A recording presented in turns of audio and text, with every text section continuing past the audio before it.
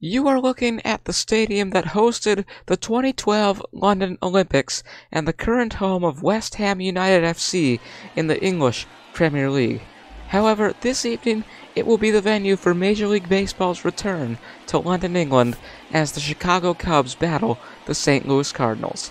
On October 28, 2007, history was made as the New York Giants took on the Miami Dolphins at Wembley Stadium. 2019 was the year that the MLB began to follow suit with the NFL, and they began at this very same stadium with a series between the Boston Red Sox and the New York Yankees. Tonight, after an unexpected four year hiatus, baseball returns to the British Isles with a classic National League Central Division rivalry. The first pitch is just moments away, so let's go down to the field as history is made once more. Miles Mikolas, the starting pitcher tonight for the St. Louis Cardinals, 2022, 32 starts, a 12 and 13 record. Nico Hoerner leading off for the Cubs here this evening. And the first pitch from number 39 inside 83 miles per hour. And this London baseball game is officially underway. We thank you for joining us. This'll go fair. And that's going to be a double for Hoerner. Good start to this game for the Cubs. With the very first batter of the game. Let's take a look at the replay on that. You would think it would go foul, but no, it stays fair. And he takes advantage, goes all the way to second. And that'll bring up Dansby Swanson. .277 batting average. First pitch a bit high, but still inside the strike zone. The 0 1. Also in. And that'll be 0 2 as we take a look at the London Stadium here. Might not be entirely 100% accurate, but uh, maybe the best we have as this goes popped up in the left field, caught first out of the ball game. So as I was saying, it might not be completely accurate as we see the starting lineup. It'll be Ian Happ coming up next, Bellinger in fourth, Mancini fifth, Gomes sixth, Eric Hosmer in seventh, Patrick Wisdom in eighth, and uh, at the back, Miles Mastro Buoni, the last batter in the order. As I was saying for a third time, this stadium might not be 100% accurate to the real life London Olympic Stadium. I would know, I've been there myself in real life. But it may very well be the best we have on the community creations page of MLB The Show 22. The 1 1, as we restore the fourth wall here, the 1 1 coming to Ian Happ goes low. And that'll be Two and one.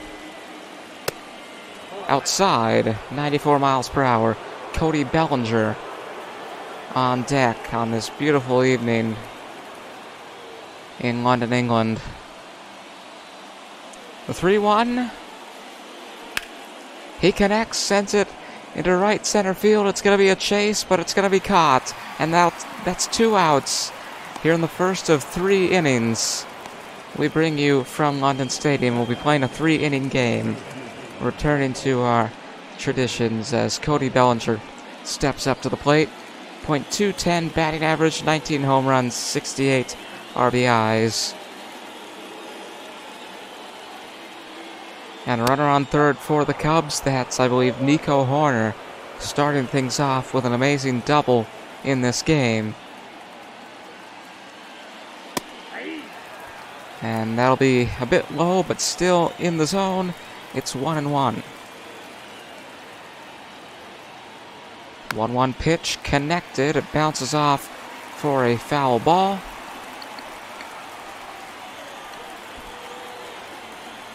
And now the 1 2.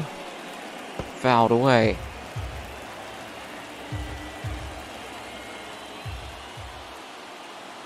One two again popped up. This will be easy.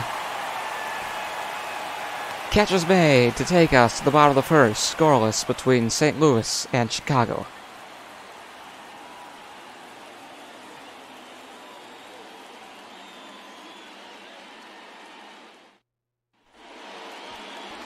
Starting pitcher tonight for the Cubs is Marcus Stroman, 25 starts in 2022 with a record of 6 and 7, 119 strikeouts, 36 walks, 138.2 innings. And I did better on that one than I did for uh, St. Louis's pitcher. Brendan Donovan will lead off for St. Louis, and right away it rolls right to the pitcher. He throws to first, although a bit slow, but it still beats him. And just like that, we've got the first out of the inning. Lars Nootbaar coming up next for the Cardinals. Goldschmidt in third. Arenado in fourth. Contreras in fifth. Tyler O'Neill in sixth. Gorman, Walker, and Edman in seventh, eighth, and ninth. Running through the uh, starting lineup pretty fast there, but you can see it for yourself. Or you could. As Nootbaar now steps up to the plate. Connects here. But that's also going to be an out. And we've got two outs and two balls here. Not a good start to the game for the St. Louis Cardinals. Paul Goldschmidt coming up now, the former Arizona Diamondback. Was one of their biggest stars for many, many years. What can he do tonight with the Cardinals? First pitch! What a hit that is! And after two outs and two balls, the third ball is a home run. And by ball, I mean pitch, of course. I'm thinking of it in cricket terms.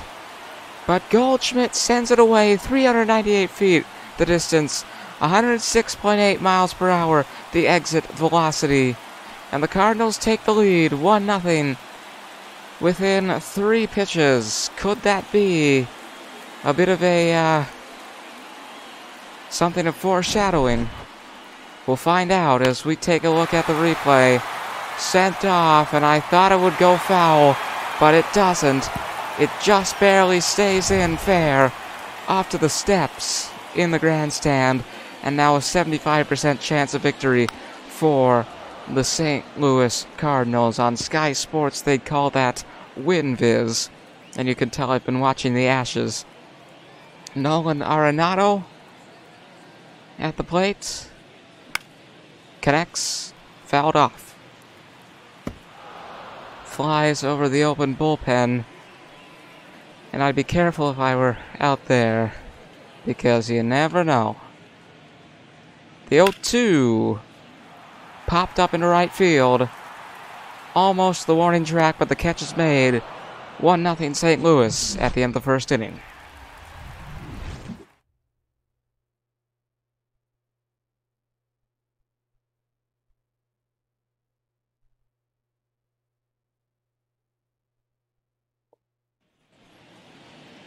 Leading off with the Cubs, the designated hitter, Trey Mancini. Back here in London for the start of the second inning. Second of three, that is. Trey Mancini leading off for the Cubs.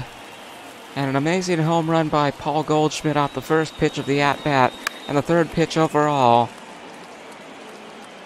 To give St. Louis the lead, that goes foul. And now the 0 2 coming for Trey Mancini.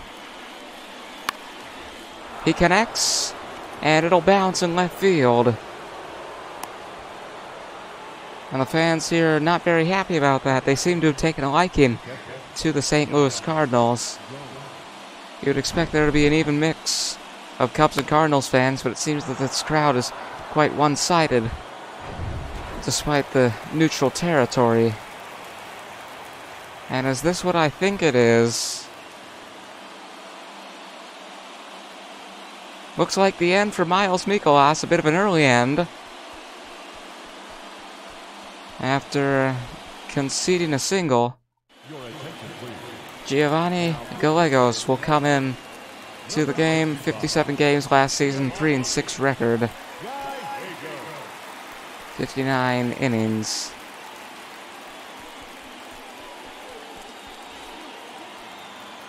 And a new pitcher for St. Louis. We'll see how that decision pays off. Is it a wise move? Is it a stupid move? We're about to find out. First pitch to Yan Gomes inside the strike zone. Although tending a bit inside, 95 mile per hour fastball. First pitch here from Giovanni. That's low, but still in the strike zone. 85 mile per hour slider. Ryan Helsley and Zack Thompson in the Cardinals bullpen to come in if need be. If they make another pitching change. The 0 2 to Gomes. Oh. On the frame there. Bit of a controversial call. And I would agree. That was most. That was probably a strike. But I get into disagreements with umpires quite often. That's a ball, and here comes the 2 2. Low, full count. After the 85 mile per hour slider, Eric Hosmer on deck for the Cubs.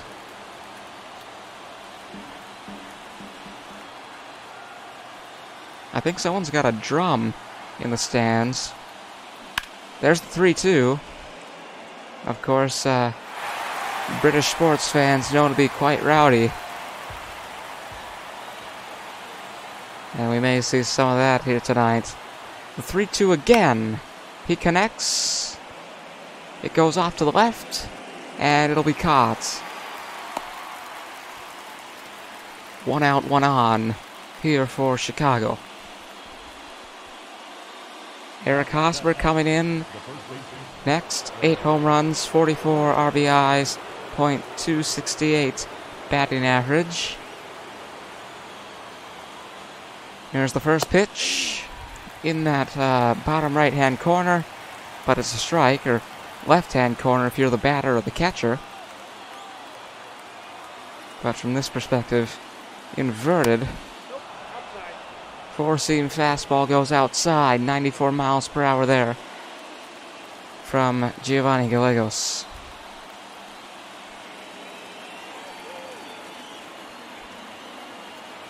One one connects and bounces, and that's going to be another chance here for Chicago. First, no, sorry, second and third. And now the Cubs in quite the advantageous position. They could take the lead or at least tie it up. They'd tie it up with a base hit. As we take a look at the replay there, Eric Hosmer with a double, pushing the other runner to third. And the win expectancy going up for the Cubs, but still in the favor of the Cardinals. That goes low. And Patrick Wisdom now batting, 25 home runs, 66 RBIs, .207 batting average.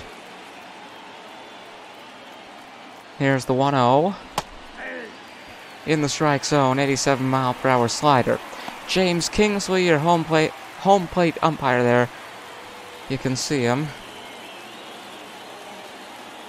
for this evening's game. The 1 1. Swing and a miss. Going low. 1 2. Coming up next.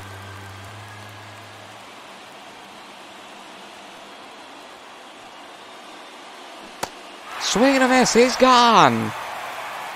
Strikeout for Giovanni Gallegos. And perhaps the decision to bring him in will pay off. As we take a look at the replay, ball was just a bit high. And now the win expectancy going down again for the Cubs. As Miles Mastrobuoni comes in last in the batting order, he swings the first pitch and misses.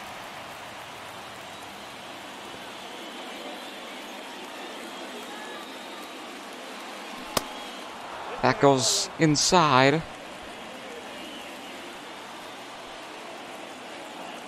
And now the 1 1. Connects.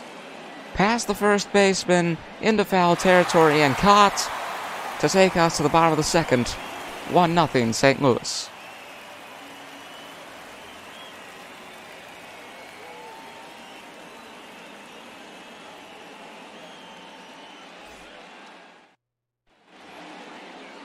Leading off for St. Louis, the catcher, Willson Contreras. Willson Contreras up next. 88% chance of victory here, 12% for the Cubs, 88 for the Cardinals. They've got a 1 0 lead here in the bottom of the second. Again, we're only playing three innings. And usually that sort of thing ends in a tie. Not saying that it won't tonight, but. Or ends in extra innings, I should say. There are no ties in American sports. At least in most of them. Most games. Although I believe a few years back there was an NFL game in London that ended in a tie. I'm not, uh. I don't remember what year that was. This goes off into right center. And it'll put a runner on first. But as I mentioned at the start of this broadcast, Major League Baseball is sort of following suit with the NFL going to London here for the second time ever. It started in 2019 but was postponed. And the Yankees and the Red Sox played that first series as it looks like a mound visit for the Cubs. And Stroman is gone.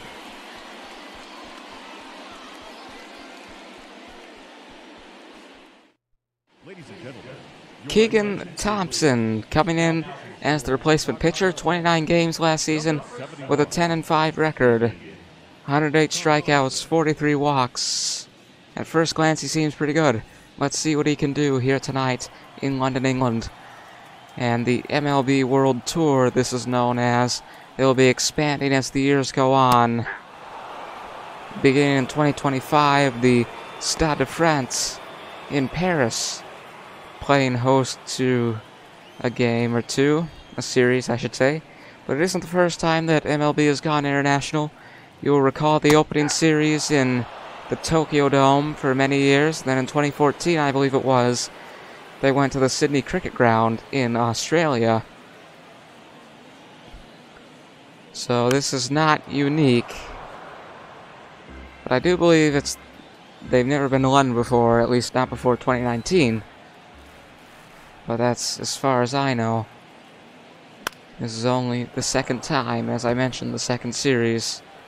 And it's another great rivalry being renewed, as it was the Red Sox and the Yankees in that inaugural series. But they opened up big, most definitely with the greatest rivalry in baseball. And as I continue to ramble, it's a 1 2 count for Tyler O'Neill. And the 1 2 pitch from Keegan Thompson goes low over the plate, 92 miles per hour.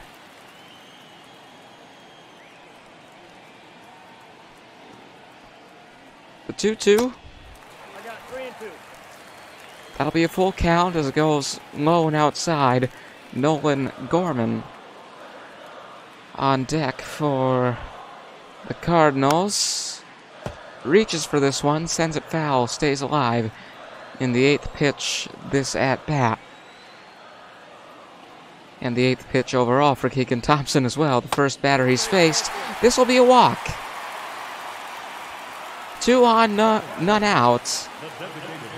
And it's looking pretty good for the Cardinals. It's looking even better than it has after that Paul Goldschmidt home run in the first inning. Now we sit in the second. None out, two on for the Cardinals. Nolan Gorman, 14 home runs, 35 RBIs, .226 batting average.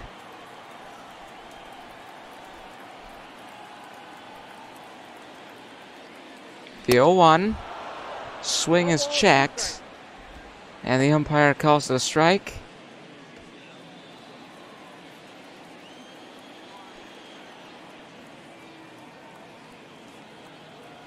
And here comes the 0 2. In the strike zone, he's gone. Nolan Gorman strikes out, the first strikeout for Keegan Thompson. And that'll bring up Jordan Walker, the rookie, it seems, with a batting average of .000. Check swing again. Umpire calls it a strike on the first pitch of this at bat. And to make your debut in London, England, of all places, should be quite the experience.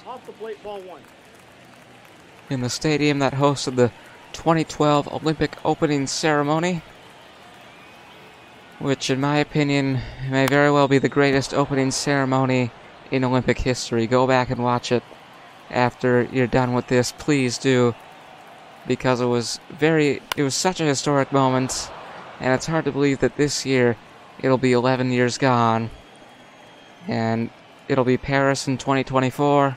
We'll see what they can do, and we'll see what we can do as we cover those. Still have to work things out there, though. The 1 2 coming to Walker. He fouls it off and stays alive.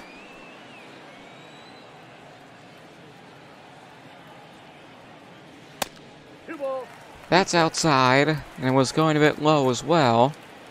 90 mile per hour cutter here for Walker. The 2 2. He connects. And now it'll be a double. Oh! Throws too high. Throws too high. What an error that is. And it'll be another run for St. Louis. No replay on that, apparently. And that's got to be quite embarrassing to make a mistake like that. Tommy Edman now to the plate for St. Louis. First pitch is inside.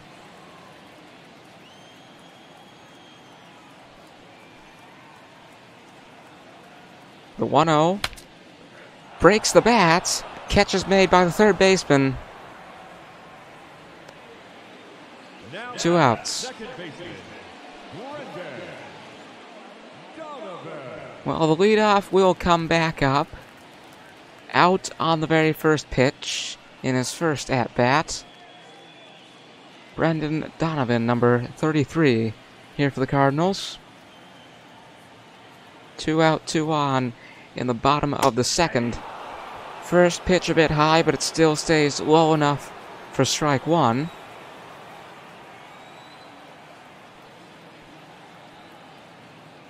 The 0 1 fouled off 0 2.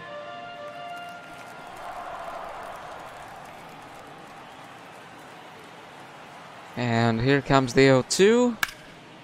Connects. And it'll stay fair, most definitely. And now it's going to be quite a scramble for the Cubs defense. Thrown to home. He's safe. 4 nothing Cardinals. And you could say the game's over here. But we say anything can happen on the Beagle Sports Network but the chances of it happening seem quite low. Cardinals 4, Cubs nothing.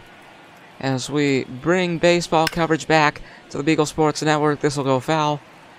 We'll be back with you on July 4th, and then that following weekend, uh, July 7th, July 8th, something like that, as we bring you the All Star game a couple days early and the Home Run Derby. And then starting that same week, we'll have Friday Night Baseball from then until the end of the season. This goes deep, deep to the warning track, but the catch will be made to take us to the top of the third. St. Louis 4, Chicago 0. Live from London.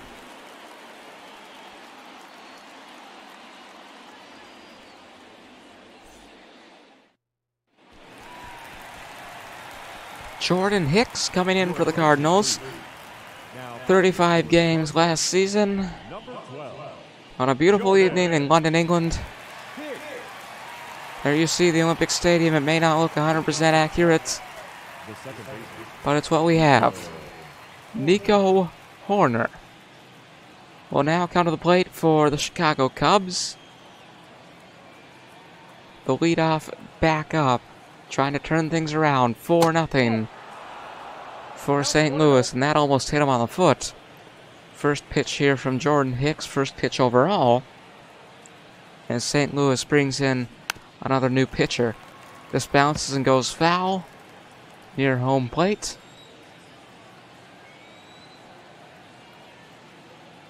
Now the 1 1. Grounded right to the first baseman. He steps on the bag. And that's not the only display of heroics that Paul Goldschmidt has brought us this evening. That amazing home run on the very third pitch of the game with two outs gave St. Louis the early lead, which has catalyzed this 4 0 scoreline, with three more being added on moments ago. Dansby Swanson at the plate for Chicago. That'll be low, 1 and 1, 95 mile per hour sinker.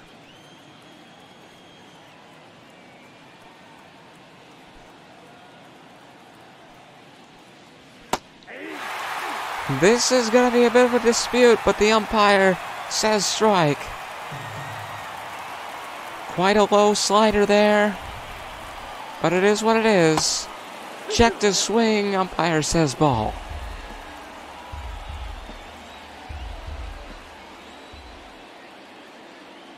The 2 2 pitch swung on and missed. Swanson gone. It seems as though we are getting closer to the end of this game. Ian Happ, the last hope for the Cubs.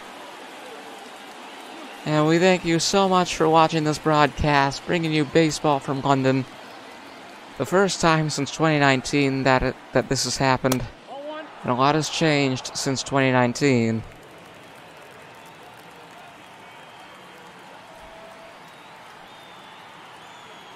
A lot has changed since 2016 as well, if you know what I mean for the Chicago Cubs. What a year that was. And for all we know, we may never see something like it again. But always remember the motto of the Beagle Sports Network. Anything can happen. Connects, thrown to first. And that's all. Cardinals take the win over the Cubs in the London game. We'll see you with baseball on July 4th. But we've got more events coming up for you.